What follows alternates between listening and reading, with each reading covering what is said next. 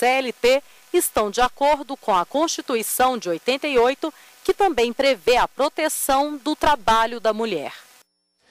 O Superior Tribunal de Justiça negou o pedido da defesa de Márcio dos Santos Nepomuceno, Marcinho VP, um dos principais líderes da facção criminosa Comando Vermelho, de voltar para o Rio de Janeiro, estado de origem.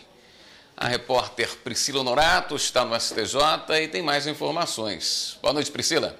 Boa noite, William.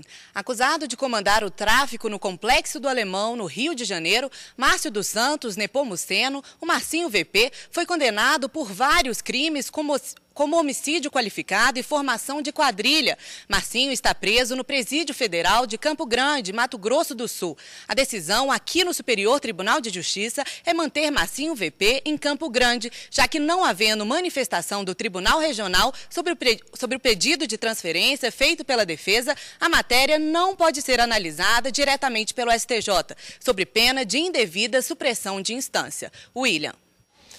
Obrigado, Priscila. Festa, troca de aliança.